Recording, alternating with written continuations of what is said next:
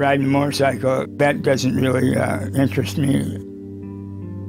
Anybody can go out and buy a motorcycle, but uh, chopper, you build it, you're riding it, you're showing your artwork everywhere you go.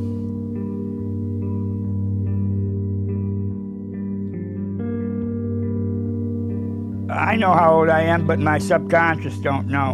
27 is what I feel like I am most of the time. Some days I feel like I'm 127. My name is Tomas Jerome Fugle, but better known as Tom.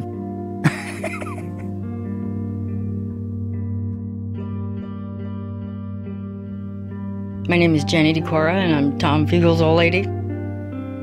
Friend, companion, nurse, bitch. basically all that and and his lover, you know. This chopper he's building now, he's building it for Born Free 6. It's already blowing minds. You know, it's like you're either born with it or you're not. You know, I don't know why, but you either got that talent or you don't have it.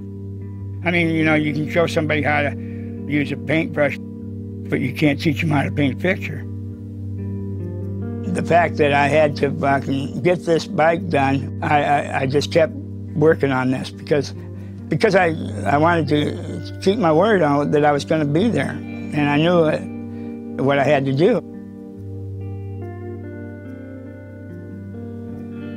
It's got uh, ducktail uh, back, no center post, the oil tanks in, in, in the fender, and uh, uh, the colors are my new uh, paint that I invented. It's called um, it's called iridescent multispectral, and it took me a while to remember that name.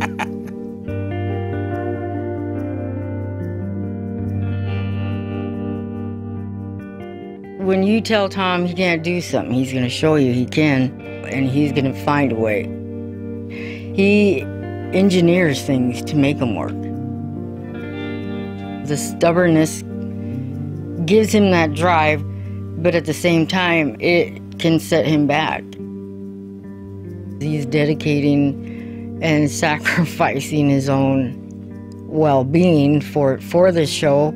Sometimes he hopes he he's going to be able to finish it. And I said, What do you mean by that? You're not trying to say you're going to die, are you? And he goes, Some days he feels like it.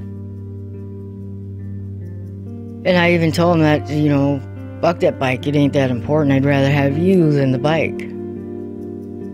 But to him, he'd rather show the world his talent. He didn't really realize what people think of his work or his style. I'm like, wow, look, there's pictures of you in Japan, I mean, Italy, Australia, Sweden. And they started showing him what he is, that he's a legend.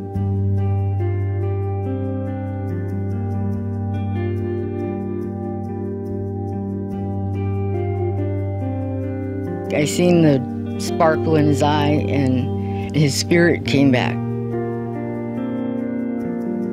It made me feel like I didn't waste my whole life doing something that would be forgotten.